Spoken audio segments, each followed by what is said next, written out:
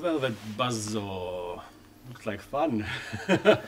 Yeah, it's weird um, because partly because of Jake Gyllenhaal was in it, but right from the get go, because I didn't know anything about this. I, I heard about this movie just like five minutes before we started this Yeah. session. You told me about it.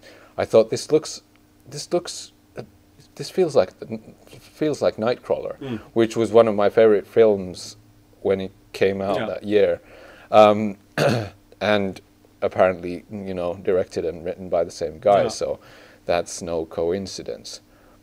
Um, this was also an interesting trailer, I thought, because we haven't looked at a lot of trailers that sort of, for me, just just by the midpoint change. Because I thought that the first half of the trailer was really, really interesting.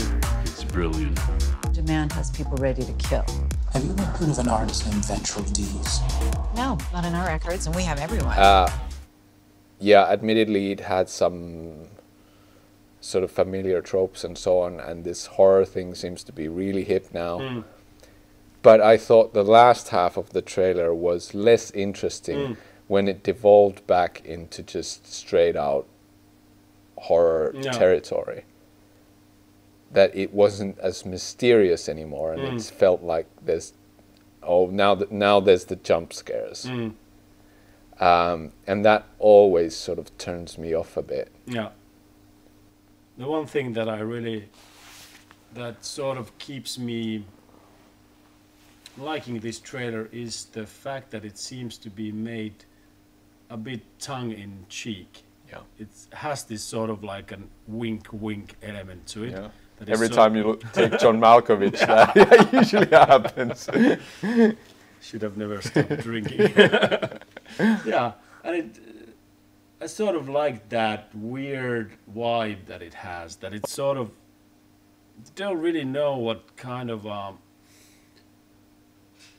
genre they are trying to make here. Yeah, yeah, I, I think it is. I mean, even the name is sort of Yeah. ridiculous, uh, and it it it is probably trying to walk that very fine line, and hopefully it pulls it off. Yeah, because that could be a really really interesting film if it if it's able to to maintain that balance between comedy and horror. yeah, Something truly goddamn strange is going on! Usually that's so hard it is. It's tough.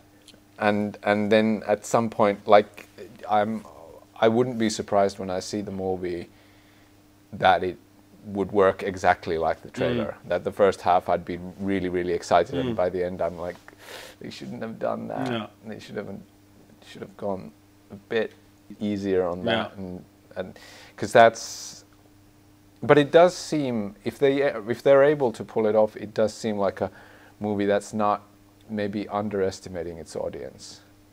Or i hope Yeah. that they're making a movie that's mm. that isn't underestimating the audience. So that that you, they have the they have the courage to not mm. sort of try to spell everything out. Yeah. And there's the good thing is that the writer director Dan Gilroy is, I think he is good enough that he doesn't really make really not like bad movies. yeah yeah But the thing is that is it really I mean really good or just okay? I mean I think that's the variance yeah that we're looking at. But um, I'm always happy when somebody uses the phrase You spent decades in a psychiatric hospital for the criminally insane.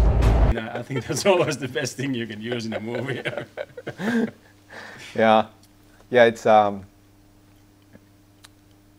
it's also weird because uh, Nightcrawler is um, is a quite an uncomfortable movie to watch because you really, really hate Gyllenhaal's character. You have to make the money to buy a ticket. You have to make the money to buy a ticket. You have to make the money to buy a ticket.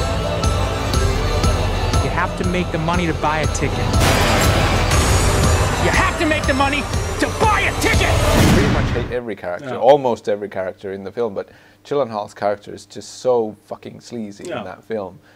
And in this one, he seems to again sort of be playing with at being unlikable, Yeah.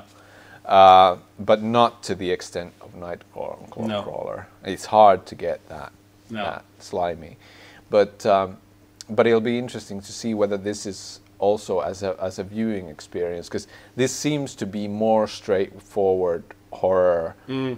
Uh, you know, paintings come to life Yeah. artwork comes to life. I understand it's probably going to be a commentary on the on the current state of modern art as well. Hopefully, they're going to sort of incorporate that into it. But it it did seem a bit. It did seem a bit, you know, Nightmare on Elm Street. Yeah, I end. hope there's more, like Yeah. a lot more to the movie than what was shown in the trailer. Yeah, Because it's it, that is it's too simple like that. yeah, and they showed a lot. Yeah. That is sort of scary because they do show a lot in that trailer. Yeah. I mean, it's basically if that is all that the movie has, Mm. then it's not good. yeah, yeah. But yeah, I, I think I'm I'm I'm intrigued Yeah. definitely, and uh, and it's nice to see that Netflix is coming out with up with this stuff because Yeah, now we don't have to wait for like half a year to see it. indeed.